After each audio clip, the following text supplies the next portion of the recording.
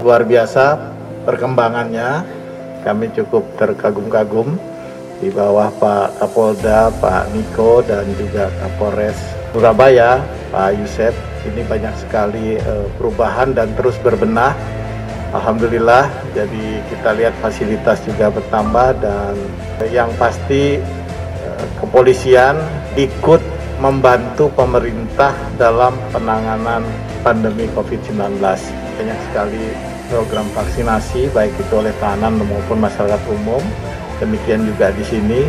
Jadi eh, semua eh, ikut membantu pemerintah, bukan hanya di dalam gedung markas Polres saja, tetapi juga saya lihat mobile, mobile, mobil-mobil yang keliling untuk daerah-daerah Surabaya dan seluruh Jawa Timur itu ada bus sampai mobil yang kecil untuk masuk ke tiga-tiga desa dalam rangka vaksinasi. Hal, hal ini yang uh, tentunya memberikan apresiasi kepada kami. Surabaya Sidoarjo adalah satu gambaran bahwa uh, Polda Jawa Timur dan seluruh Polres di Jawa Timur uh, dapat menyesuaikan, dapat mengimbangi melaju kinerja dari Pak Kapolri dengan moto presisi.